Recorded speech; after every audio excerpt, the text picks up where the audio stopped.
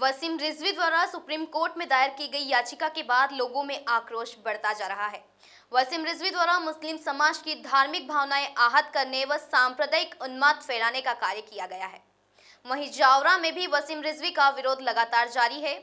वसीम रिजवी द्वारा supreme court में दायर याचिका के विरुद्ध एसडीएम को ज्ञापन सौंपा गया है। जी रिजवी जी द्वारा जो सुप्रीम कोर्ट के अंदर अंदर जो कुरान की आयतों के विरुद्ध में याचिका दायर की गई है ये उसके संबंध में है कि वो सरासर गलत याचिका दायर की है उन्होंने?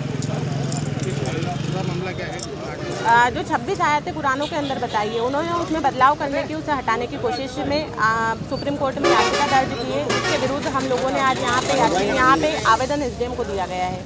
मैं हिंदू धर्म की हूँ और हमारा जो सनातन धर्म है वो हमें किसी भी धर्म के विषय में गलत कहने की इजाज़त नहीं देता है और इसी कारण आज मैं मुस्लिम संप्रदाय के लोगों के समक्ष आके खड़ी हुई हूँ और आ, कहा गया है कि कुरान में या गीता में किसी प्रकार का कोई बदलाव नहीं किया जा सकता है और जहाँ तक मेरा मानना है सुप्रीम कोर्ट भी इस विषय पर पूरी ईमानदारी से डिसीज़न देगी और जो रिजवी रिजवी जी द्वारा जो याचिका दायर की गई है उसमें किसी प्रकार का कोई संशोधन नहीं करेगी। आ, जी मैंने यूथ कांग्रेस की प्रदेश प्रवक्ता होने के नाते दिया है और ये हमारे फारूक चाचा जी हैं इन्होंने अपने संगठन के माध्यम से दिया है।